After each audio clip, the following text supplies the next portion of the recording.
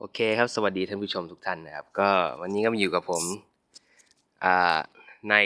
โทรศัพท์เครื่องนี้นะครับ ก็โทรศัพท์เครื่องนี้คืออะไร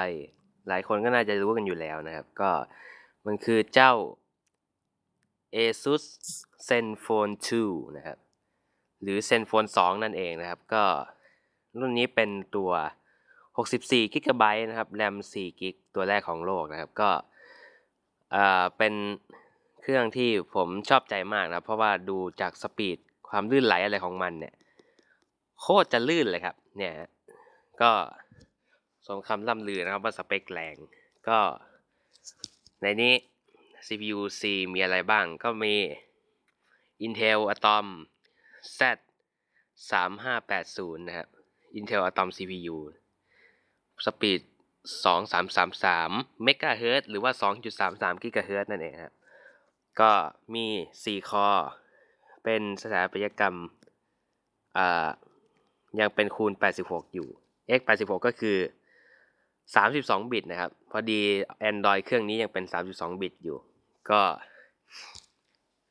ยังไม่ไม่รู้จะลงเป็น 64 บิตยังไงนะ ก็ปล่อยปล่อยมันเลยครับเน้นใช้งานก็พอ ก็ L1 L1 cache เอา L1 cache data นะครับ ก็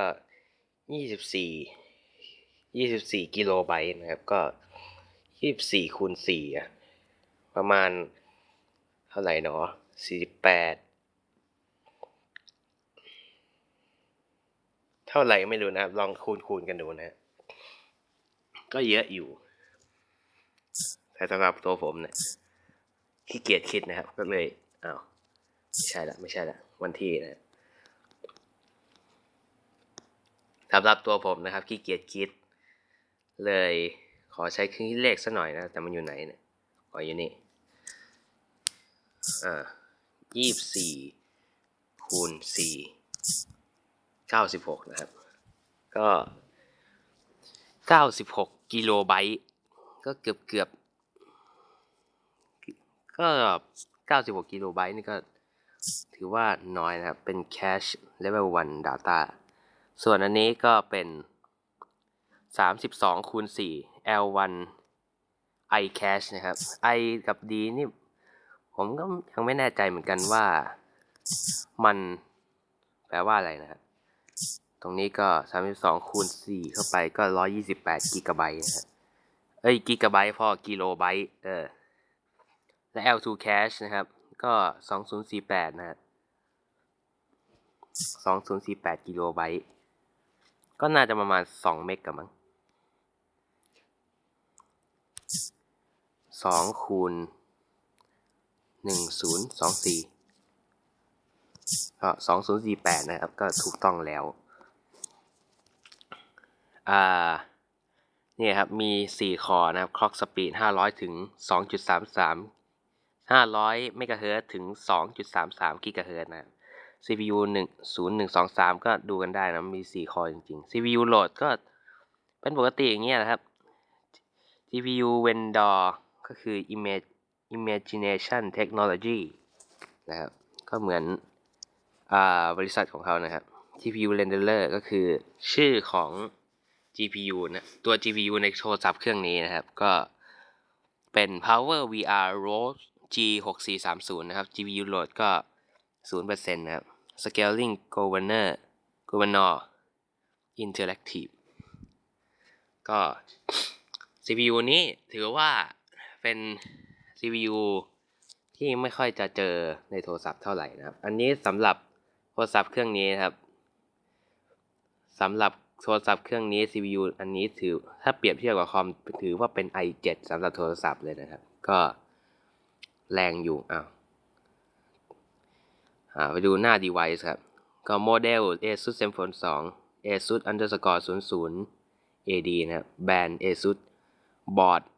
Mo Moorefield ฮาร์ดแวร์ก็ MOFD underscore V1 นะครับหน้าจอ 5.5 นิ้วนะ 5.50 inch screen resolution ความละเอียดก็ 1080คูณ1920 นะฮะ สกรีนได้ที่นี่อ่า400 dpi นะ ขนาดก็คือ1อ่าสิบห้า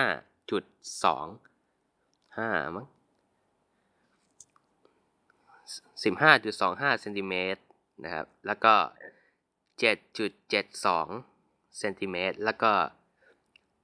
อ่าหนึ่งจุดศูนย์เก้ามิลลิเมตรเซนติเมตรนะครับ ก็อันนี้น่าจะเป็นอ่าสูง กว้างแล้วก็ลึกนะครับหนาเออส่วนน้ำหนักนะครับร้อยเจ็ดสิบกรัม total RAM นะครับ ว่าจะมันจะเป็นสี่ก็ไม่เป็นสี่นะ แต่ตีเป็นสี่ไปเถอะ แต่ดูแรมแล้วขอเคลียร์แบบ ดูแล้วแบบเยอะมาก อะ ได้มาสองร้อยเมกนะครับก็ total RAM นะ มันจะไม่สี่ก็สี่ไม่เป็นสี่ เป็นสี่ก็ไม่เป็นสี่นะครับ ก็มันอยู่ที่สามจุดเก้าหรือสามพันเก้าร้อยเจ็ดเมกะไบต์นะครับ แต่ตีเป็นสี่ไปเถอะ เพราะดูแล้วมันก็สมควรแหละ แรมที่เหลือตอนนี้พันแปดร้อยเก้าสิบกว่าเมกะไบต์นะครับ หรือเหลืออยู่สี่แปดเปอร์เซ็นต์นะครับ internal strong internal storage นะครับ ก็คือพื้นที่ที่เก็บข้อมูลนะครับ เป็นรุ่น 64 กิกนะครับ แต่มันจะสงวนพื้นที่เอาไว้นะครับ ประมาณ 10 กิกบ้างแหละ ประมาณ 9 กิก 10 กิกนะ เพื่อไว้เก็บระบบปฏิบัติการนะ ตอนนี้ก็เหลือ 48 กิก หรือ 89%ของเครื่องเครื่องนี้นะ release date วันเปิดตัว ก็คืออ่าปี 2015 วันที่ 1 เดือนมกรานะครับ ก็ ไม่นานมานี้นี่เองนะ ส่วน Android นะครับ Android เวอร์ชันของอันนี้เป็น 5.0 นะครับ API level 21 Boot Loader ไม่รู้นะครับ View ID ก็ตามอะไรของมัน Java เป็น ART 210 นะครับ OpenGLES 3.0 นะครับ Kernel Kernel น่าจะเป็นไปแยกอ้าวชิบหายเพื่อน ก็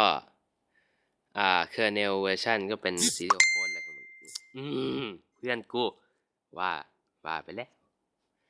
root access อย่างนะ ผมไม่ได้แฮกเกมนะ แบตเตอรี่ โอเค อาจจะค้างสักนิดนึงครับมันจะเป็นประจำนะ หน้านี้ health good ก็คือสถานะดีนะครับ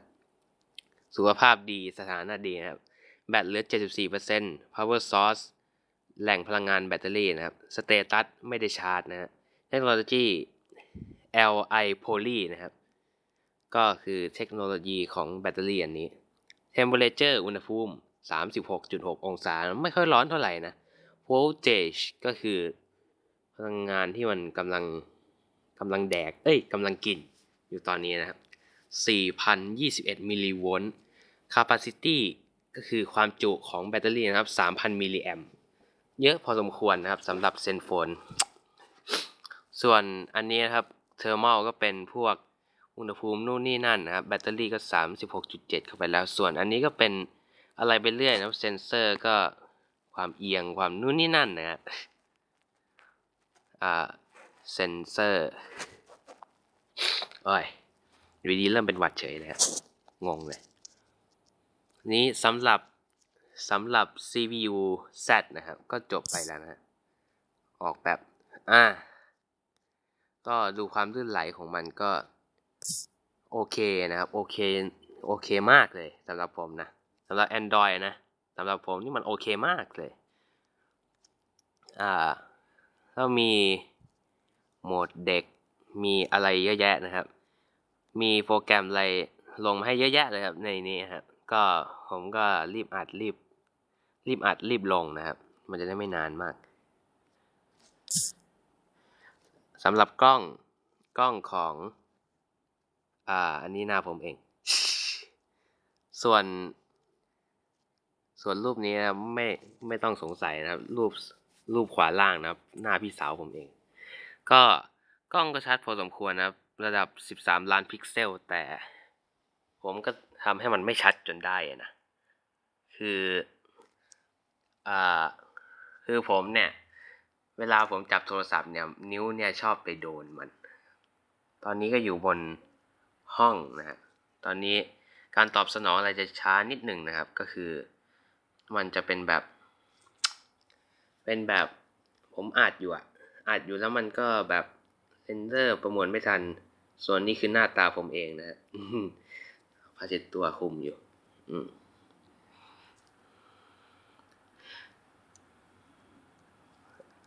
ก็อันนี้เป็นรายละเอียดคร่าวๆนะครับ ของเจ้า ASUS ZenFone 2 ตัวนี้ก็สำหรับคลิปนี้ก็ขอลาไปกันลาไปก่อนนะครับ เดี๋ยวไปตอบเฟซเพื่อนกัน อะไรของมันไม่รู้ ก็สำหรับคลิปนี้จะเป็นคลิปที่หนึ่งร้อยเอ็ดนะครับ ก็อ่า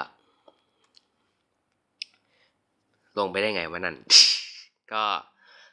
คลิปนี้ก็ขอ ลาไปก่อนนะครับ พบกันใหม่ในคลิปถัดไปนะครับสำหรับคลิปนี้สวัสดีครับ นี่ไปก่อน